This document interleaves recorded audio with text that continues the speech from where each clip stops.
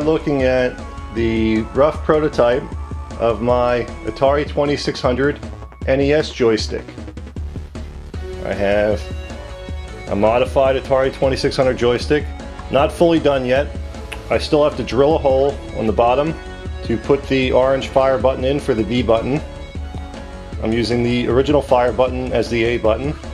I installed this two-way toggle switch for start and select and the joystick of, of course works the D-pad.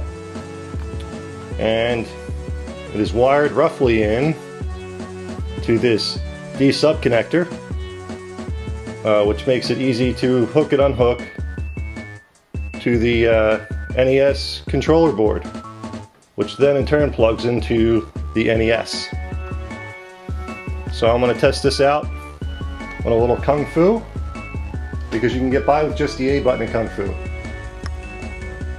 So let me adjust my camera here so we can see the screen. Hopefully I'll be able to get the screen and the joystick in the same shot while I'm playing. And just power up the NES.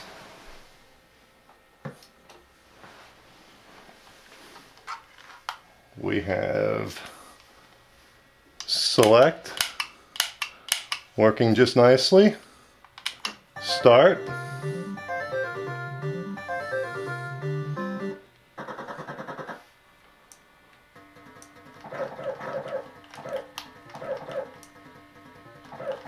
It's a little awkward to play this game the angle I am so you can see the joystick.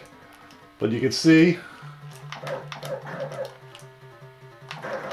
it pretty much works, which is the best I could hope for.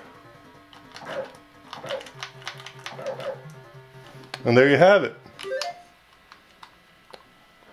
Pause button, unpause, pause.